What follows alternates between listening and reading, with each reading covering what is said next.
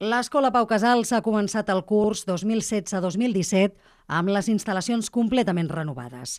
Després de dos anys d'obres i gairebé una dècada de reivindicacions, es restrena un dels equipaments educatius més antics de la ciutat. Molt il·lusionats perquè per primer cop en molts anys ens trobem amb una instal·lació adequada a la, a, a, al que se suposa que, que ha de tenir una escola pública. Diguem, o sigui, és que només cal veure diguem, la fotografia de fa un any, un any i escaig, un any i mig, amb la imatge que projectem ara. Diguem, jo crec que és, és radicalment diferent. A l'estiu de 2015 van començar les obres de rehabilitació del centre. S'ha renovat el paviment, la calefacció, els lavabos i la fusteria interior. El sistema d'electricitat i d'aigua s'han reformat per fer-los més sostenibles i eficients. A l'exterior s'han canviat les finestres al paviment de la pista esportiva i s'ha col·locat una nova coberta que protegirà de l'escalfor l'interior del centre. Encara falta acabar la pintura exterior i col·locar un ascensor. La història de les obres del Pau Casals és una història de lluita compartida de l'administració local i la comunitat educativa.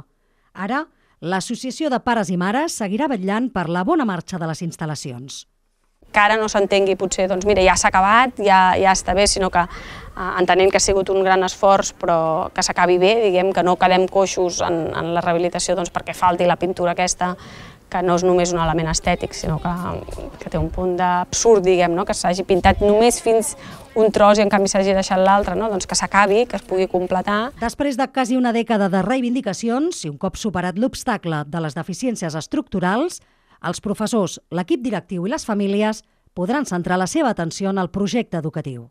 L'any passat que ja la teníem internament l'escola molt més en condicions, ja la feina de l'AMPA i nostra era molt això de mirar quins projectes ens van bé, que poden canviar per millorar. Aquest any hem canviat l'empresa del menjador, que és nova també, que comencen avui. O sigui, tot, tot això són projectes que van de cara a millorar la qualitat de, de l'escola. I això penso que relaxa molt. El Pau Casals va néixer el 1964. Des d'aleshores, el seu equip de docents ha treballat per aplicar la innovació als aprenentatges. El seu mètode es basa en l'observació i la pràctica i a través de projectes com el de Filo Escola treballen la capacitat crítica dels alumnes, la cultura emprenedora o la lectura.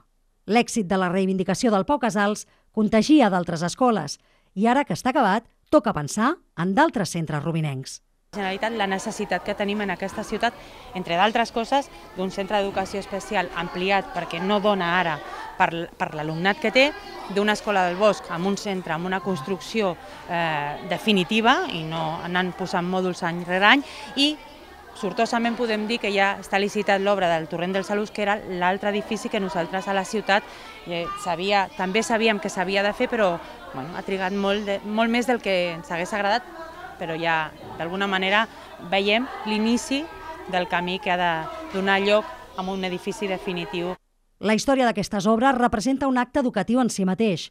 Demostra que la unió fa la força, que el treball en equip funciona i que davant de qualsevol entrebanc cal treure forces i ser tenaç. Aquestes alçades, després de tants anys de lluita, perquè si fem el record ja portem eh, bueno, jo crec que he perdut el compte, però vora uns vuit anys eh, més intensivament. Eh?